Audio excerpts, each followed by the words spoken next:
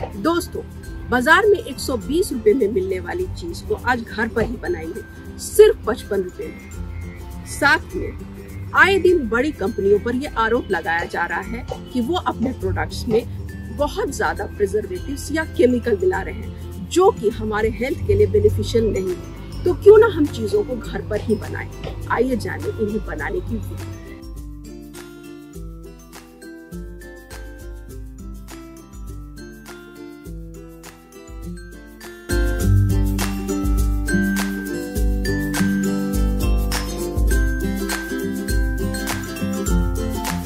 चीज़ बनाने के लिए सबसे पहले लेंगे एक लीटर कच्चा दूध। ध्यान रहे कि दूध कच्चा ही होना चाहिए।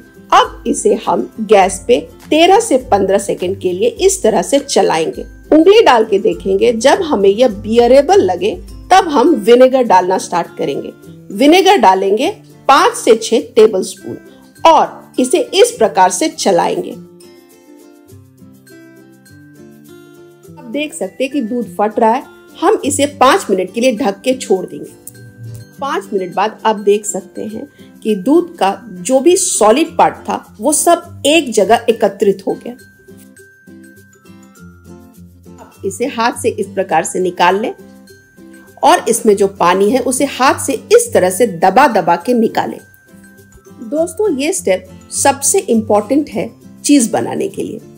क्योंकि अगर आप दूध पहले से उबाल के रखते हैं फिर उसे गर्म करते हैं, उसमें विनेगर डालते हैं और इसे इस प्रकार चलाते हैं। पाँच मिनट बाद आप देखेंगे कि दूध छेना बन गया। वो चीज़ बन ही नहीं पाएगा। आप देख सकते हैं ये एक गलत स्टेप है। तो इस वजह से इस बात का ख्याल रखें कि दूध कच्चा ही ले।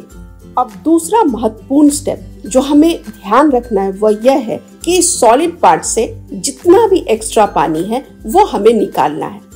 अब आप हाथ से दबा के निकालें या फिर चलनी पे छान के निकालें, ये आपकी मर्ज़ी। लेकिन पानी पूरा निकल जाना चाहिए, तभी चीज़ बन पाएगा। हम एक बाउल में गर्म पानी लेंगे। चूँकि चीज़ नमकीन होता है, डालेंगे इसमें एक टेबल स्पून नमक और इसे इस प्रकार से मिला लेंगे। अब इस सॉलिड पार्ट को हम गर्म पानी में इसलिए डालते हैं कि इससे एक्स्ट्रा विनेगर निकल जाए और यह नमकीन भी हो जाए।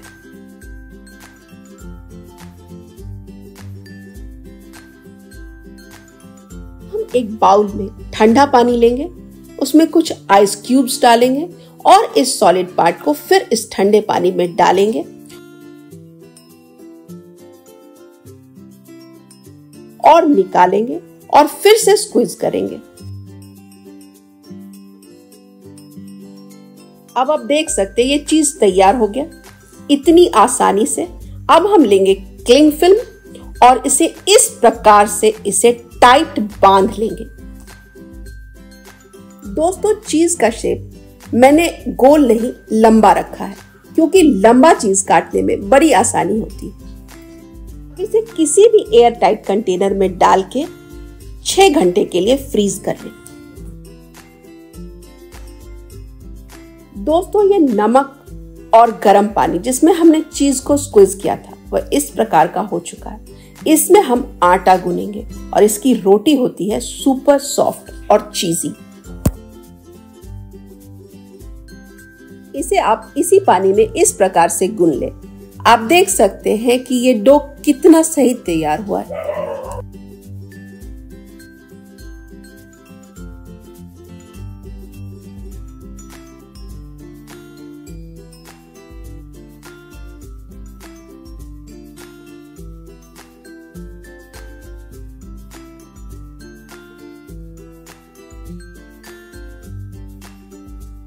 अब छह घंटे बाद ये इस प्रकार का हो चुका है।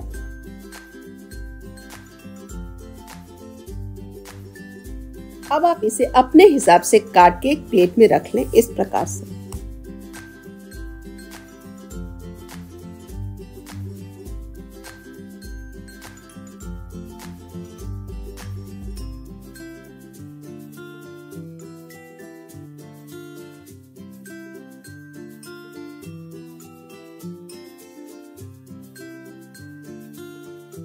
अब ग्रिल्ड पैन में घी लगा लें और इसे इस प्रकार से सेक लें।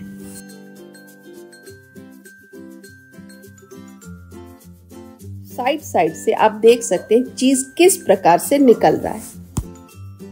अब आप इसे इस प्रकार से कट कर लें और आप देख सकते हैं कि ये कितना चीजी है। इसमें हमने कोई भी एक्स्ट्रा केमिकल नहीं मिलाया, ना ही कोई प्रिजर्वेटिव ये जितना ही हेल्दी था, उतना ही टेस्टी भी था। दोस्तों, अगर आप मेरे रेसिपीज़ को पसंद करते हैं तो मेरे चैनल को लाइक करें शेयर करें और सब्सक्राइब करें, ताकि मैं इस प्रकार के वीडियोस आगे भी बना सकूँ। धन्यवाद।